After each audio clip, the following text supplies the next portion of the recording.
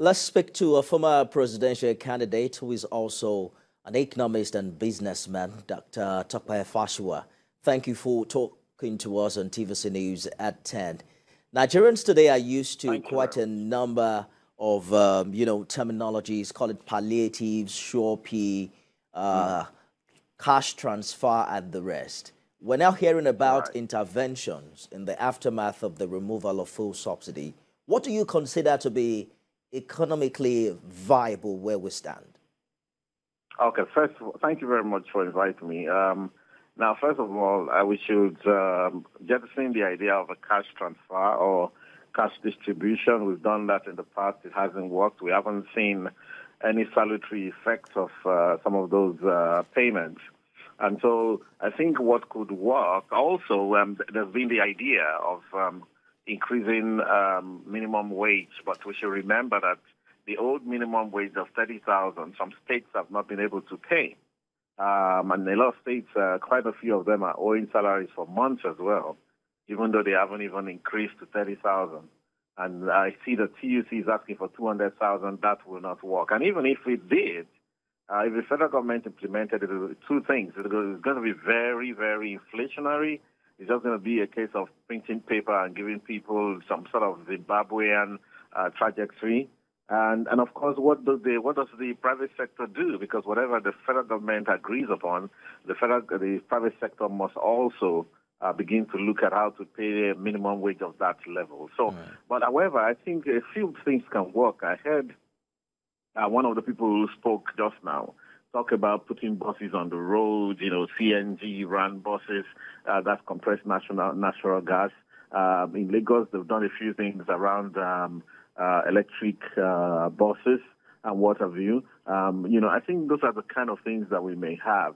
Um, even, for example, some money may be given to a state like Lagos to expand its metro.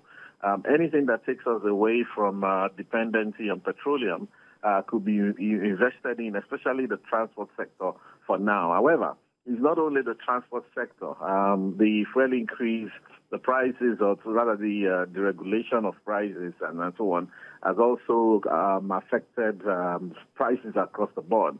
Especially, uh, we're talking about inflation. So, uh, I think that what the NEC will be doing, that's the National Economic Council, is uh, to be thinking in terms of how do we mitigate inflation, how do we ensure Indeed. that inflation doesn't run away. And so there are several strategies that can be put together. Lastly, I'll probably say that in my view, and one of the things I've recommended to them is uh, they should think about PAYE, uh, pay as you earn. The states should think about that, and they can reduce PAYE across the board, especially for those who earn low amounts of money and so on. And also, and the federal government can think about uh, little reduction in company income taxes just to show that it is business friendly mm. and uh, to also signal to the companies not to lay off staff and to signal to them that, hey, it's going to be good times for them once we get over uh, some of these initial hiccups. However, the government has done the right thing, that President Bola Ahmed has done the right thing no matter how difficult it looks.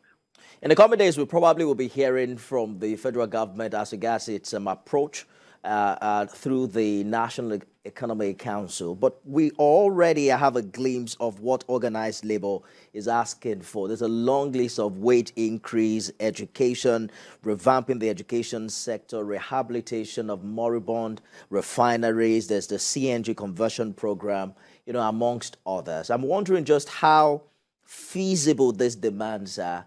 And do you think they are tailor-made to cushioning the immediate effect um, and impact of the removal of fuel subsidy?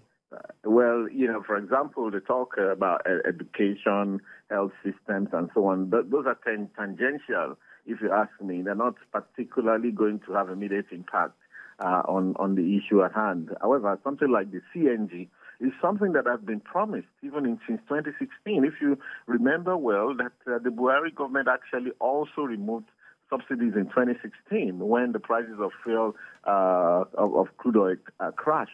Uh, you know, and then, but however, that was when we increased from 87 to 145 and they promised that the CNG uh, was going to come in. Government cars were going to be fueled by CNG. Cars were going to be converted. But somehow they they, they, they lost the plot and uh, they took their eyes off the ball. We're hoping that this time around uh, we would actually do something about CNG. If you went to Benin, there's a CNG plant, and um, I've seen a few uh, fuel stations around Abuja that are also powered by CNG. I mean, they have the, the CNG pump and what have you. Uh, what it takes is to uh, actually begin to convert cars and provide that bit of um, like a tank for the CNG so that you could load up on both. And I think the CNG is uh, is cheaper. And recently also, even liquefied natural gas and even the one we use, cooking gas, has been reducing in prices. So perhaps that's the way out. You know, but again, all of this is going to make us think differently uh, mm. going forward. So CNG is great.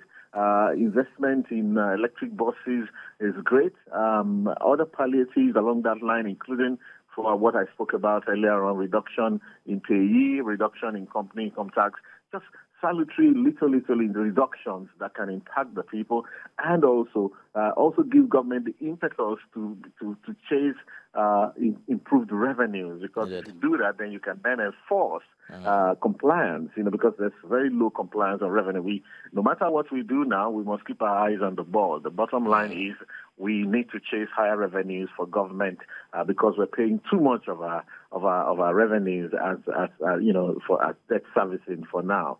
Uh, so what I wanted to say was that the government also has the entire field of play. The government can use any tool at its disposal, which is basically every tool at its disposal to solve this uh, initial problem and make people more comfortable. We have to have a raft of uh, call it incentives, call it palliative, call it whatever. Uh, we have to have a raft of them. Uh, the government must now show that having taken this hard decision, this tough decision, mm. now the people, you know, they're going to people are going to benefit in many time, ways. Time, uh, time is also forward. of the essence. The intervention must come in on Absolutely. time because already Nigerians ex- now exchange quite a lot of money for a liter of petrol. Exactly. But it's a good place to live it. Exactly. Dr. Fashola, former yeah. presidential candidate and also CEO Global Analytics Consulting Limited. Thank you for talking to us on the news tonight.